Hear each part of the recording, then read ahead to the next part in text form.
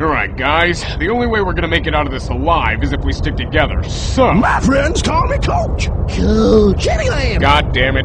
Okay, the safe room is just a couple of rooms away. When the door's open, just run like hell and we should be fine. Alright, just let me get out my little desert eagle. Perfect! Jenny Lane! Okay, everyone get in! That is the scariest fucking thing I have ever seen in my entire life. Hey, look! Laser beams!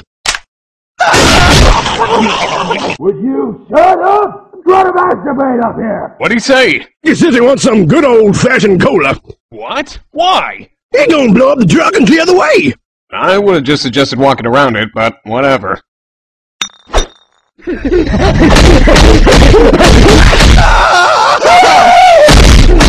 Football! yeah! Hey, jackass, we got your coke. You want me to just drop this in the box or what? God damn it! Just get away from here! Okay. Guys, we're walking around it! Jenny Lamb. Amal.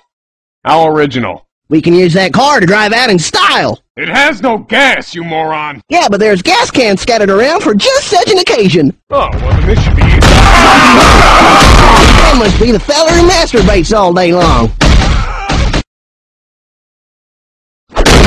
Ow, baby, I used to go here as a kid. And look, Ellis, it's Kittyland. Do I look like some sort of queer to you?